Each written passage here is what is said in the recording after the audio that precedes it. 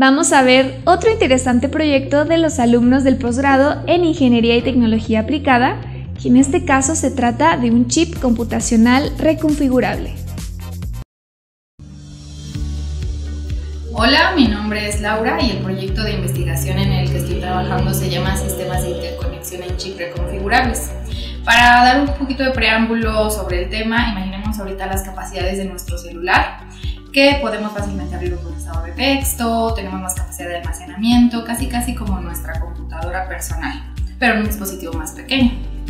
Entonces, en este celular, eh, el sistema en chip incluye dispositivos de almacenamiento, este, procesadores de información e interfaces de entrada y salida para que nosotros podamos interactuar con el celular. Y todo eso dentro de un chip de silicio y en un tamaño muy pequeño. Ustedes pueden ver su celular. Entonces, en términos generales, eh, nosotros podemos tener esos elementos dentro de un chip, entre otros, incluyéndonos también dispositivos de propósito específico que son llamados IP-cores. Entonces, en un sistema en chip podemos tener muchísimos, muchísimos elementos de hardware. Muchos.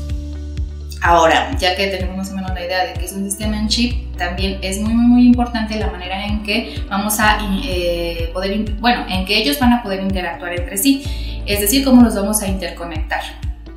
Es un tema eh, detallado de, este, y es muy importante saber cómo los vamos a interconectar. Hay varios tipos de, interconexión entre estos módulos eh, que están dentro del chip. Pueden ser de tipo bus, donde todos los elementos se conectan a través del mismo medio. Pueden ser de tipo crossbar, donde se configuran algunos como maestros, otros, otros como esclavos y el maestro se comunica con el esclavo. Entonces, varios maestros se comunican con los esclavos que no están ocupados o también de tipo redes en chip, que hace alusión más a las redes de computadora que ya conocemos que son tal vez de tipo anillo, de tipo malla. Em, y así, entonces también podemos tener una este, interconexiones en chip que involucren a varios tipos, ¿no? Como que haya ahí una combinación y eso hace que tengamos una arquitectura de interconexión más compleja. Ahora, ¿cuál es la razón de hacer reconfigurables estas interconexiones? Porque tal vez tengamos ocasiones en las que eh, necesitamos modificar la comunicación dentro del chip por situaciones que no tenemos previstas. Entonces, eh, tenemos que cambiar algún parámetro tal vez eh, alguna configuración en el chip para mejorar el, el rendimiento, mejorar este, ciertas especificaciones de la comunicación y va a ser posible sin tener que parar la ejecución de ese sistema en chip.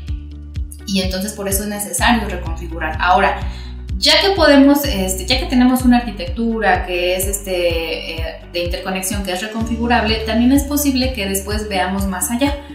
¿Cómo es ver más allá? Que estemos monitoreando nuestro sistema en chip, en chip, y entonces eh, digamos, ay, a lo mejor es posible hacer esto, estar monitoreando todo, todo, todo, todo, y así que, sea, que él mismo se reconfigure. Eso sería un poquito que autoadaptable. Entonces eso sería como un paso más allá de, la reconfiguración. Y, y ese eh, es el tema en el cual ahorita estoy este, investigando, mi tema de tesis de, posgrado. Ok, entonces eh, los invito a los estudiantes que quieran realizar algún posgrado en, el área de, de sistemas embebidos.